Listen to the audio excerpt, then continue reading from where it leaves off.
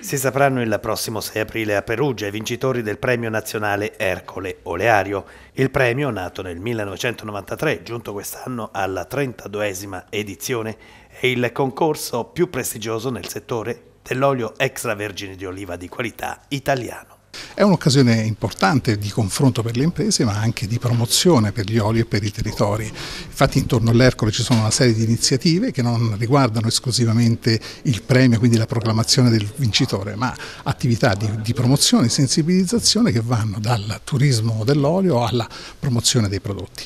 Siamo veramente felici di premiare oggi, o meglio di individuare i soggetti che potrebbero poi vincere un premio, questo non lo sappiamo, nella, nella, finale, nella fase finale che si terrà a Perugia, però siamo veramente felici di, ecco, di, conoscere queste imprese, di consegnargli il premio e di scambiare con loro ecco, quel minimo di collaborazione che ci permette di lavorare meglio. Il prodotto abruzzese è cresciuto enormemente negli ultimi anni, in qualità.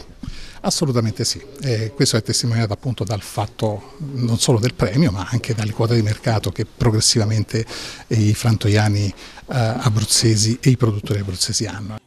Quest'anno sono cinque le etichette abruzzesi premiate che accedono alla fase conclusiva in programma come già detto a Perugia il prossimo 6 aprile.